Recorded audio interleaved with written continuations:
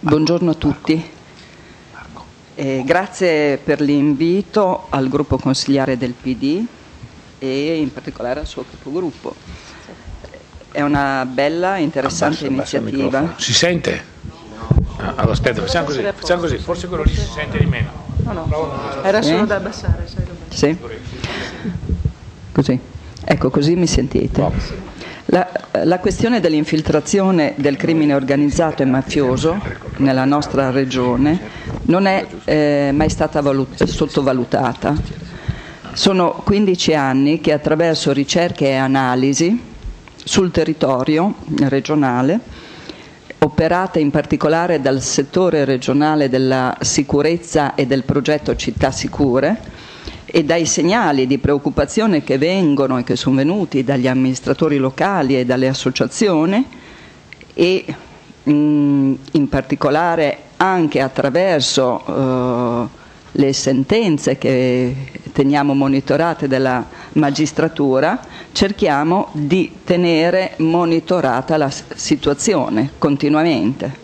In questo ambito la Regione Emilia-Romagna ha condotto diversi studi con risultati che hanno consentito di ricostruire un quadro delle organizzazioni criminali, dei loro traffici e delle loro attività, di individuare le strategie delle organizzazioni per insediarsi nel nostro territorio, di riscontrare come in Emilia-Romagna il controllo del territorio da parte di organizzazioni criminali sia ancora debole, mentre la loro attività principale e più remunerativa è, costi- è costituita dai traffici illeciti, come il- tutte le modalità relative al riciclaggio e in particolare anche ancora al traffico degli stupefacenti, di avere conferma dell'importanza assunta da elementi proveni- di provenienza mafiosa nel favorire l'ingresso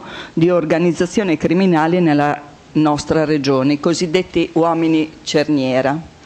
La Regione Emilia-Romagna ha supportato i comuni che hanno continuato ad approfondire la conoscenza del problema nel loro territorio attraverso l'istituzione di osservatori permanenti, come ad esempio, vi cito Reggio Emilia, da diversi anni ci sono progetti specifici e un osservatorio permanente con progetti di integrazione fra cultura alla legalità, supporto alle associazioni e al volontariato per costruire tessuto sociale e recupero urbano. Progetti che vengono visti dal settore e dall'assessorato alla sicurezza, perché l'integrazione nel rendere più piacevole un luogo e contemporaneamente creare un tessuto efficace e formazione alla cultura della leg- legalità, al civismo, è un tutt'uno per migliorare definitivamente alcuni quartieri. A questo proposito i riferimenti acquisiti dai prefetti, dai comandi regionali dell'Arma dei Carabinieri, della Guardia di Finanza hanno confermato quanto messo in evidenza dalle nostre attività di ricerca. In Emilia-Romagna il crimine organizzato ha scelto di adottare la strategia della cosiddetta infiltrazione, caratterizzata dalla necessità di impiegare nel contesto economico imprenditoriale la liquidità derivante, dalle attività illecite. Personaggi di varia natura vengono utilizzati nella prima fase cosiddetta di approccio al mondo economico-finanziario e si mettono a disposizione delle compagini criminali di riferimento le proprie capacità e le strutture tecniche alla loro disposizione al fine di investire in attività legali i proventi di attività illecite. Tale strategia trova favorevole sviluppo in ragione ad una molteplicità di fattori. Primo, il radicamento dei pregiudicati giunti in soggiorno obbligato nei decenni passati, che hanno poi scelto questo territorio come polo di interessi propri e delle famiglie d'origine.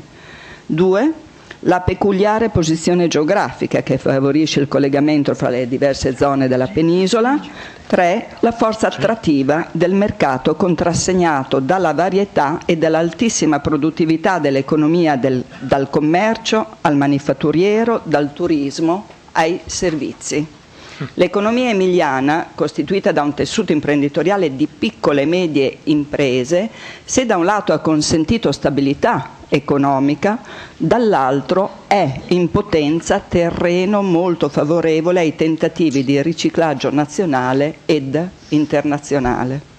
Si può pertanto affermare che le migrazioni di pregiudicati dai luoghi di origine avvenute sin dagli anni 70 con successivo radicamento sul territorio la possibilità di reinvestimenti dei proventi illeciti costituiscono le cause che verosimilmente, più di altre, hanno determinato le articolazioni e la presenza di soggetti riconducibili ai gruppi mafiosi nazionali, tutti i gruppi li abbiamo presenti, sul territorio della nostra regione.